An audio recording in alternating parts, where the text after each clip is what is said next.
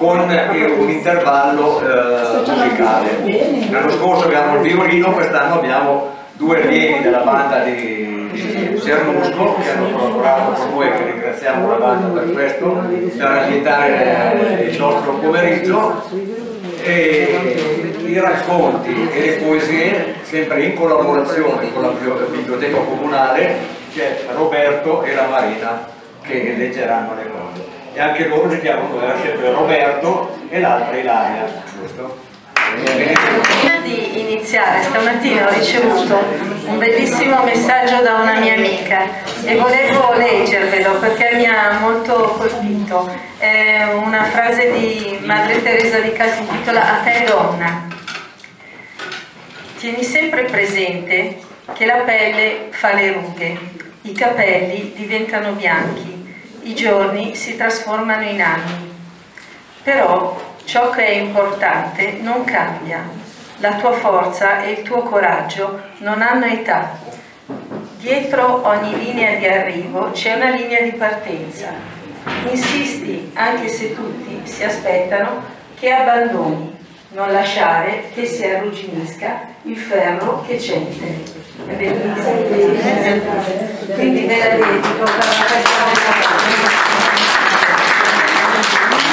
siccome mi è molto colpito, peraltro eh, Madre Teresa, non so se l'avete vista ne, nelle foto, nelle immagini, è un donnino piccolino, molto minuto, ma con una forza gigantesca, ha cambiato. Ossia elegia per le mie lacrime da diciassettenne. Il film che quella sera, nel 1942, si proiettava all'unico cinema del mio paese si intitolava Carmela e protagonista ne era Doris Duranti. Bastava quel nome, allora, a stipare le sale.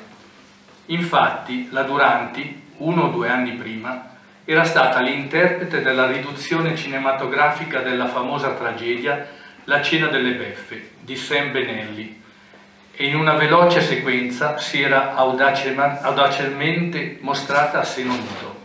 Era la prima volta che questo accadeva in Italia e in tempi di austerità fascista si sperava perciò, ma invano, che ripetesse l'esploit.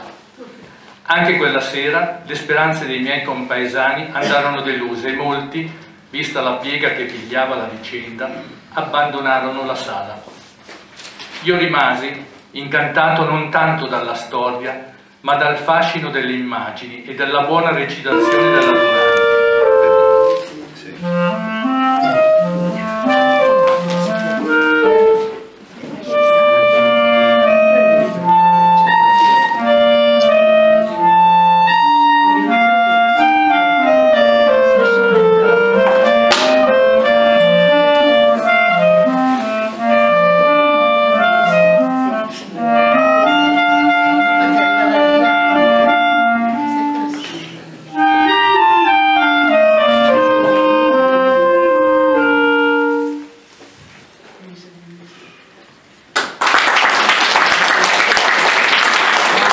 Durante.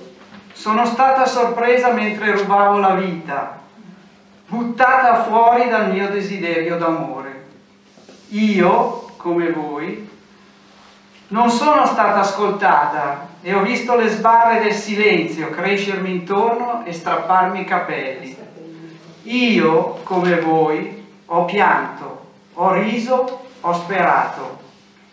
Io, come voi, mi sono sentita togliere i vestiti di dosso e quando mi hanno dato in mano la mia vergogna, ho mangiato vergogna ogni giorno. Io, come voi, ho soccorso il nemico, ho avuto fede nei miei poveri panni e ho domandato che cosa sia il Signore. Poi, dall'idea della sua esistenza, ho tratto forza per sentire il martirio volarmi intorno come colomba viva. Io, come voi, ho consumato l'amore da sola, lontana persino dal Cristo risorto, ma io, come voi, sono tornata alla scienza del dolore dell'uomo, che è la scienza mia.